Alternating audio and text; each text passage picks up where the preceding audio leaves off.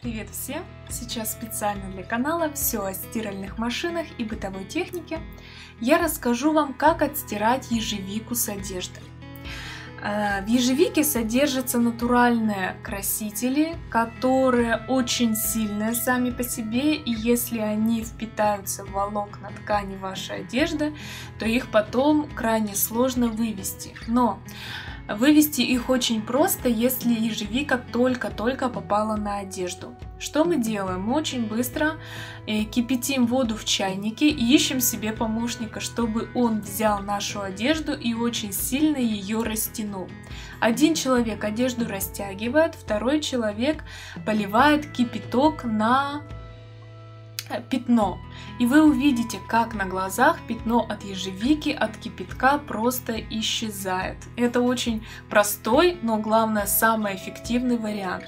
Но если же не получилось моментально устранить пятно, вы какое-то время с ним проходили, то в этом случае, конечно же, нам понадобятся другие методы. И в первую очередь самый легкий такой способ это, конечно же, соль. Что мы делаем? Мы очень объемно насыпаем соль на наше пятно. Но, в принципе, вы можете сделать и соляной раствор, смешать теплую воду с солью. Не суть, как вам будет удобно. Минут 20 прошло, затем вы одежду застирываете. Причем очень хорошо застирывать ее со средством для мытья посуды. Причем вы можете сделать обычный мыльный раствор, либо просто нанести пару капелек на пятно и также подождать минут 20. Тот и тот вариант хорош, как вам будет удобно. Но средство для мытья посуды это прекрасное средство для борьбы с такими пятнами.